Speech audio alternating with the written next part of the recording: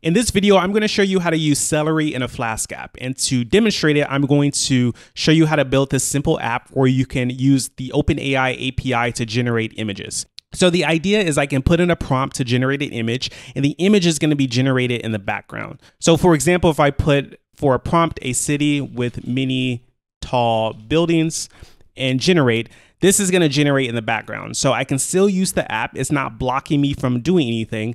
And once the image generation is done, then the app will be able to pick it up and display the image. So as you can see, I only have the three original images, but once I have the new image ready, I'll see it. So we see this image here of the city with a bunch of buildings, and that's because it took maybe 10, 15 seconds to generate this. And now that it's ready, we can see it in the app.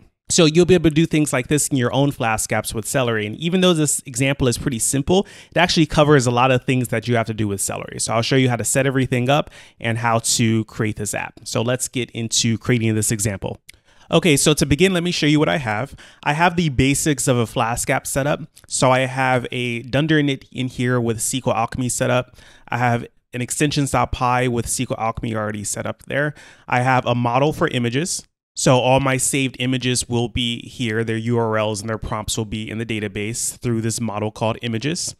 And then I have a route that renders a single template, this. So the template is already done. It's expecting a list of images and it will show it in a carousel, but I don't have any images yet. So once I get the images, we'll see the carousel pop up. So the first thing I need to do is I need to prepare to use Celery.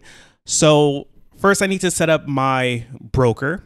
So I'm going to use Redis as my broker and I'm using Docker Compose to make it easy to set up. Okay, so I'll start up Docker Compose. So Docker Compose up dash D and it's starting in the background. So that should be fine. All right. So now let me install everything I need. So I already have Flask installed. I need to install Celery and I need to install Redis. And because I'll be working with the OpenAI API, I need to install that. So pip install OpenAI. All right, so everything should be installed. Now what I want to do is I want to make my Flask app work with Celery. So typically in Flask, you would install some kind of extension, but because the Celery integration can be so simple, instead you can go to the Flask docs. So go to the Flask docs, the website, and then look for background tasks with Celery. So let me just search for Celery here. And then we have this link called background task with Celery. And what you can do is you can copy this code. So this first block of code, you can just copy it and you can put it in its own file, but I'm going to put it in extensions.py since I don't have much going on in here. So I'll do extensions.py. So I'll paste it in here and we see it gives me this function called celery init app. So then I want to import that function in my main dunder inits. So I'm already importing DB and I want to import celery init app. And then just under DB init app, I can call celery init app and pass an app. So let me briefly show you what's going on here. So it's creating the celery app here and it's passing a special task class called flask task. And the only thing that is doing here is, is adding the app context. So I can use the app context inside of my celery task when the time comes. So I can connect to the database, I can get configuration, things like that. Uh, it's setting the configuration from something called Celery on the config object. So I'll set up that in a second. It's setting the app as default so it can discover all the tasks in the app pretty easily.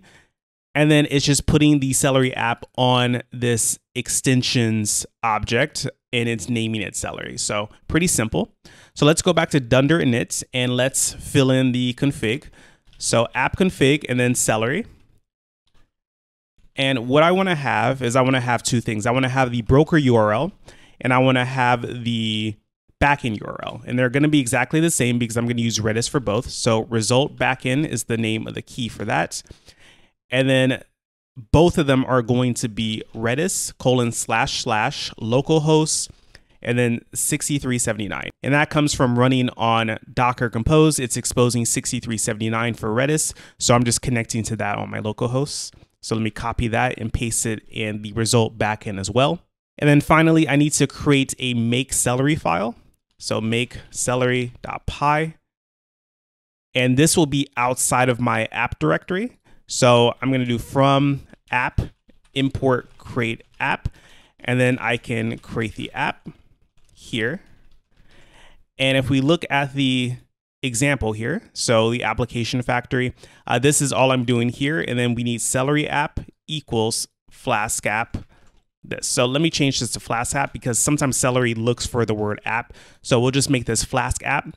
And then we're getting the celery object off of extensions, just like we saw in extensions.py. Notice how it's putting it on extensions here. Here in make celery, we're just taking it off and then we're leaving it as celery app. So once we have all that, we can try to start it up. So we can do celery dash A and then make celery. So the name of the file, make celery that I just created, worker, and then let's do dash L info.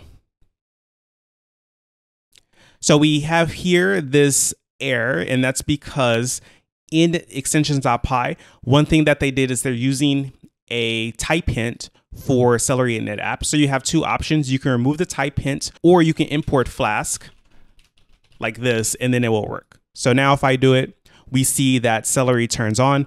I don't have any tasks defined because I'll do that in a second, but we see that the transport and results are both localhost 6379. So now let's work on creating a task. So in my app, I'm going to create a file called tasks.py. And in here, the first thing I need to do is I need to import something called shared task from Celery. So from Celery, import shared underscore task. And the idea with this is it's a decorator and any function that I decorate with share task, so at share task, will be registered as a celery task, meaning I can call it in the background. So in this particular example, what I want to do is I want to call a function called generate image and it's going to take in some prompt that I pass in. And for now, I'll just print out the prompt. So we'll get it working with this print first, and then we'll bring in the OpenAI stuff later so we can focus on the celery part for now. And now I've created the task, so now we need to use it inside of routes. So I have the route for index just returning the template. And what I want to do is I want to import that task. So from .tasks import generate image. And what I'm going to do here is if it's a post request, so I'll say if request.method equals post, I'm going to call the generate image function and I'm going to pass in request.form prompt. And that's simply because inside of my template, I have a form and it has an input here called prompt. So that's what I'm going to be getting. And we see it here. It's just this input and then this generate submits the form. So let's go back here and let's go back to routes.py. So I'm going to call generate image and remember it's a celery task. So in, instead of just calling generate image by itself, I need to add dot delay and then that will send it over to celery. And then once this runs, I just want to return to the same page. So return redirect URL for and then main.index. I'm just going right back to the same route but sending a GET request. So let me restart Celery here to make sure that the task gets found. So if I go up here to tasks, we see app.tasks.generate image. So the task that I created is there and it's available to be used. So now let me start my app and I'll submit the form. So Flask run and let's go over and let's say a dog at a beach. So of course this won't generate an actual image for me yet because I haven't hooked up OpenAI, but I can hit generate and we see it immediately returns the page. If I go back to my console, we see that there are no errors. It's a 302, so the redirect worked on the post. And if we go to the celery one, we see if I go down to the bottom, it ran the task for me. So we see it said it received the generate image task and then it prints out the prompt because in my task, I'm just printing it out and then it says it's complete. So obviously it was really fast because it's only printing something. So in our actual example, this is gonna do more work. So let's set that up right now. So what I can do inside of task is I can import the OpenAI stuff. So let's say from OpenAI, import OpenAI. And then inside of generate image, I'll write the code to call the image generation AI API for OpenAI. So I start by creating a client since I'm only going to use it in this one task, I'll create the client in here. If you're using it across multiple tasks, you can create the client like outside of all the tasks. So what I'll do is I'll create a response and then I'll do client.images generates. So I'm calling generates and then I need to pass in a model.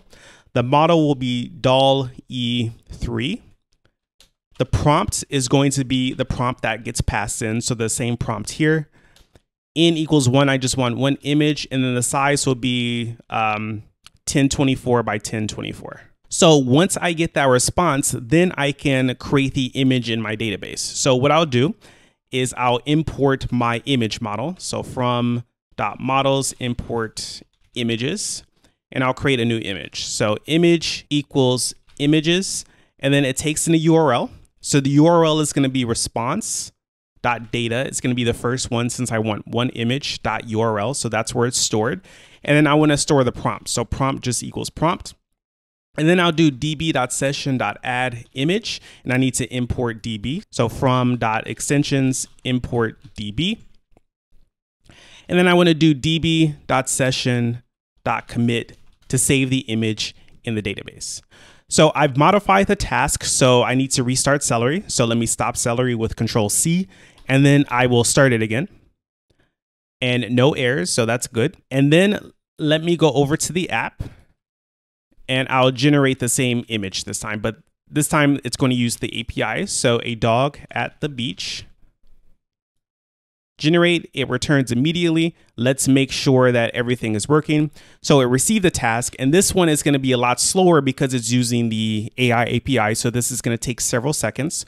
So we see now it sent the post request to the image generation endpoint and then we see it succeeded in 11 seconds. So let's look at our database to see if there's anything in there. So instance here and then DB SQLite 3.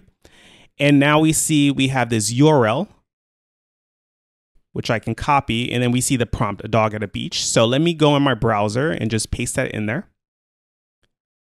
And we see an image of a dog at the beach. So now let's get this to appear in our app because right now we don't see any images. So all I have to do for that is I need to go to routes.py and I want to pass in a list of images. So it's going to be like images equals images here. So I need to grab those images. So let me import some things from SQL Alchemy so I can query. So from SQL Alchemy,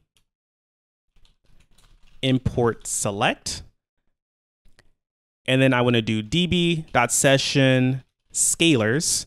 And I want to do select images, which I'll have to import. So from dot models import images. So select images and then dot all, and then I can pass all the images. So this will get all the images that I have stored, put them in, in a variable called images, and then pass it to the template. So now if I refresh, we see DB is not defined because I forgot to import it. So from extensions import DB.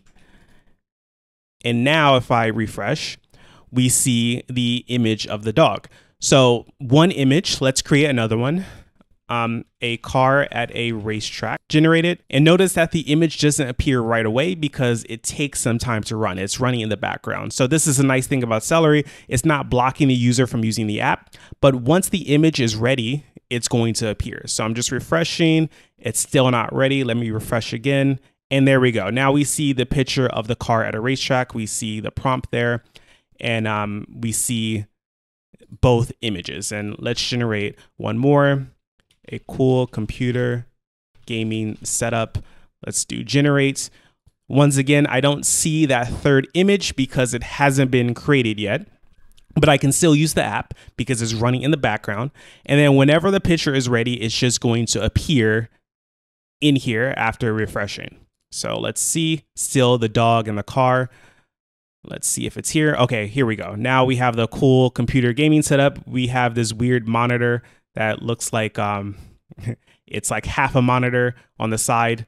Kind of weird, but it looks nice other than that. So we see that everything is working in the background correctly. So with this example, we've actually covered a lot of things that you'll end up doing in your Celery task. You'll be interacting with the database, so you'll, you'll be saving something to the database or querying something from the database. Um, you may be calling an API, and you may be doing something that takes a while to run and that you don't want to block the user from using the rest of the app. So that's it for this example. So with that, if you want to learn more about how to use Celery with Flask, I have other videos on my channel that you can check out.